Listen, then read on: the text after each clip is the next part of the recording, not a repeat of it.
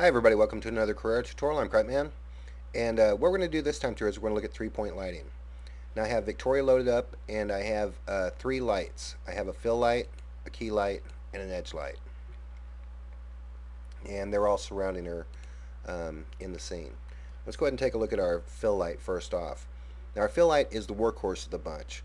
The fill light is the one that is going to take up, it's going to do a lot of your lighting in your scene and it's going to cause it's going to set most of the mood. Um, now in Carrara what you want to do is uh, make sure that your range is kind of low um, especially if your if your light's really close and it's going to give you um, more of the results that you're you're expecting if you're um, if you're messing with your lights. Now um, let's go ahead and do something here. Let's uh, go into the interactive renderer, uh, do scene lights, make sure this first guy's clicked, and let's show the backdrop. Now you notice that now you can get a real-time feedback on what your light's doing to your scene. And this is that's a pretty cool trick. Now I'm pretty sure it, it depends on your resources. Um, uh, the more lights you have, the harder it's going to be to manipulate them with the interactive ren interactive renderer turned on. So just FYI.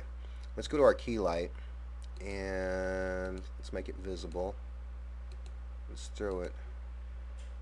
Make sure that it's pointing at the head and you notice how you notice how immediately you can tell that it's helping the fill light with the scene. Now you normally have this on the side or in the back, but mostly on the side just to kind of help your fill light out. And for me, it my fill light always I've always liked my uh, not my fill light, my key light to be a spotlight. Um, just so I can have more control over it. Uh, oh, you know what? Let's go ahead and uh, do a do a bi gradient. And you notice when I uh, clicked on the interactive render, I hit show backdrop. Now my backdrop, I can manipulate my backdrop and get real-time feedback. Go ahead and make this like this. Let's make this like this and yeah. And now we're on our way to making a fairly decent picture. Um, you notice how everything looks right you notice how everything looks round um, this is what we're wanting this is what we're going for. Let's go ahead and spin Victoria a little bit. By clicking on her head pushing option and then spinning the scene a little bit and you notice how um, the backdrop stays the same. The backdrop doesn't move. That's what we want. Uh, let's see. Let's go ahead and turn on our edge light. Now, uh, the edge light is called something else too. I'm not really sure uh, what the other name is, but it's called something else too.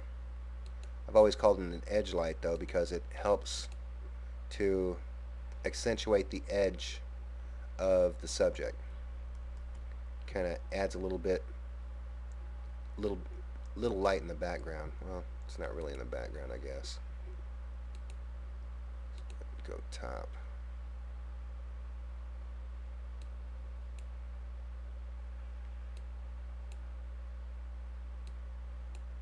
There we go. Now there's more of an edge right there and I kind of like to make it um, make it match my background a little bit. Since I have a blue background let's go ahead and make this a little bit blue. And you notice how um, there we go.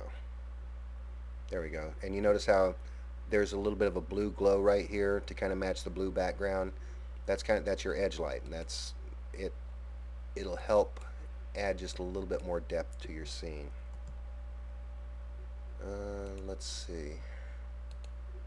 Um, now you notice in all my lights, I the range fall off isn't 400 uh, like it is like it comes in standard. Um, I brought them down so that they'd be closer to the subject. Let's see. Uh, let's don't need to mess with the range fall off on that. Let's go to the fill light and uh, let's kind of kind of make it look like a candle scene here, or a scene that has a candle in it. Throw a little bit of orange there. Yeah, maybe that's going to be a little much. We'll see. That's what that looks like. Yeah, that is a little much. But you notice how you notice how there's uh, blue back here, there's orange right here, and then there's the white still, kind of highlighting this side of the, the image. This is what we want. Uh, probably don't want this this much. There we go.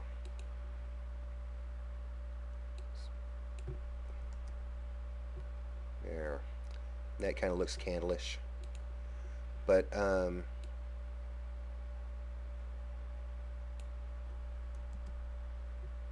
yeah, there we go. But uh, that's your three-point lighting. Um, it's a it's a nice uh, thing to know uh, when you're doing 3D. Uh, treat your 3D scenes like you're doing photography, and uh, and you're you're going to wind up getting fairly decent results. So, anyway, that's it for this time. I'm Cripe Man, and I'll talk to you again later. Bye.